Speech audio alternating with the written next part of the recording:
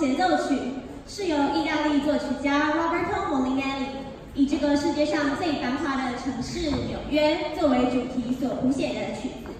曲子分为四个乐章，分别是《梦幻黎明》、《探戈俱乐部》、《多愁善感的黄昏》以及《百老汇夜晚》，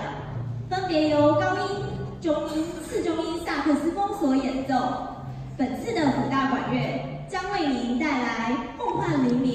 与《多愁善感的黄的》乐章。《